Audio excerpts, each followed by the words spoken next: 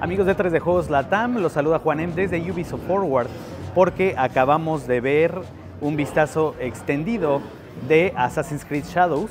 Acá justo atrás están haciendo las presentaciones y desafortunadamente todavía no tenemos el, el gameplay, con, perdón, no, no, tenemos el juego para poderlo probar, no, para poder tomar los controles y ser nosotros los que lo probemos, sino que son los desarrolladores quienes nos dan la demo.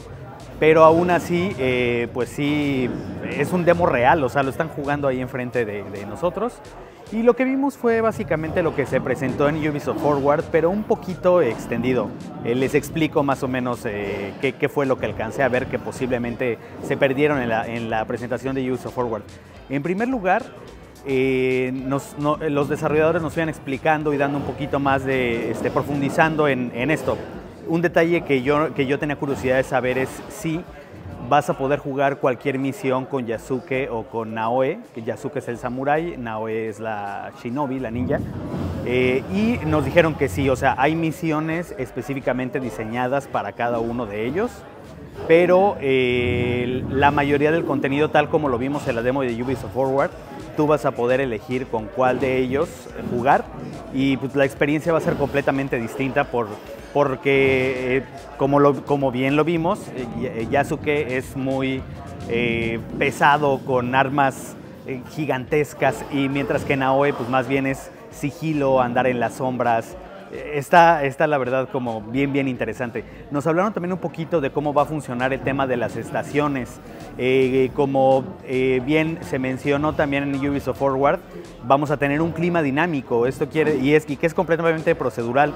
Quiere decir que de repente puede haber una lluvia, de repente, además de, además de las nevadas en invierno, o este, la floración de los cerezos en primavera, o el, otoño también seguramente se ha de ver brutal.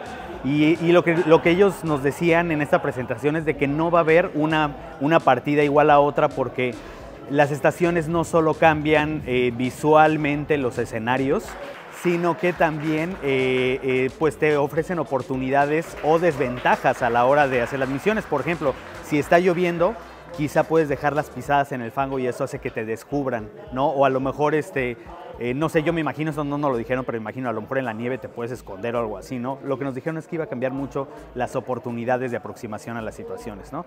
Y, el, demo que vimos fue, eh, les decía, exactamente el mismo, pero en la parte que eliges jugar con Yasuke o Naoe, que en Ubisoft Forward vimos eh, a Naoe eh, pasando toda esa parte en sigilo, eh, infiltrándose a través de los, de, de los tejados, nos mostraron más bien qué hubiera pasado si usaban a Yasuke. Entonces eso nos permitió ver un poquito más cómo funcionan sus habilidades especiales. Básicamente eh, tienes en la esquina inferior derecha de la pantalla, se indican las, las eh, ¿cómo se llaman? Las habilidades especiales que tienes. Y prácticamente son animaciones con las que de un solo golpe acabas con el enemigo, lo decapitas, le entierras la katana o le partes la cabeza con, con, esta, con esta otra arma este, pesada que se me olvidó ahorita el nombre, pero, pero tienes todas esas, esas oportunidades, entonces eso es lo que vimos un poquito en ese gameplay extra de esa parte que no se vio en Ubisoft Forward. Y también nos mostraron cómo hubiera sido pasarlo con Naoe, pero si Naoe no, en lugar de irse por los tejados hubiera ido por abajo. Entonces eso nos permitió ver eh, las habilidades de combate de, de, esta, de esta ninja que están fenomenales. Una cosa que no vimos en el demo es de que Naoe también tiene muchos ataques no letales. Puede usar sus cadenas simplemente para dejar noqueados a los enemigos, esconderlos por ahí. Eh, entonces, eh, creo que fue muy, muy enriquecedor este, esta demo que nos mostraron porque al, poner lado a lado las dos maneras diferentes de aproximarse a la acción, eh, no, nos fue posible comparar las oportunidades, comparar el gameplay, lo distinto que es jugar con estos dos personajes. Yo creo que la clave de Assassin's Creed Shadow, además de que está en Japón, que era un escenario que los fans pedíamos a gritos desde hace muchos años, es precisamente ese optar por dos personajes que realmente son muy distintos, porque en Assassin's Creed, el de la Revolución Industrial, ay, ahorita se me fue el nombre, perdón, ya ando muy olvidadizo, eh, en Assassin's Creed ya estaban los hermanos Fry, que, pero realmente no había mucha diferencia entre ellos. Aquí sí tenemos dos personajes completamente distintos, uno enfocado al combate directo, otro enfocado más bien al, sigilo, uno enfocado a los ataques pesados, otro enfocado más bien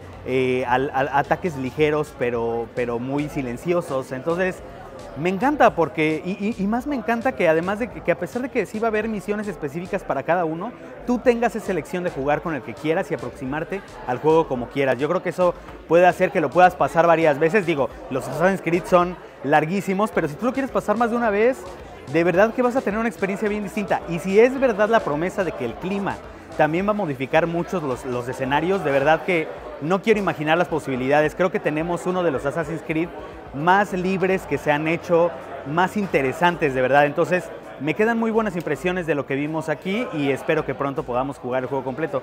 Me despido desde Los Ángeles, eh, desde esta cobertura de Ubisoft Forward y sigan al pendiente de todos los detalles que tenemos con ustedes, eh, para ustedes, en 3D Juegos Latam.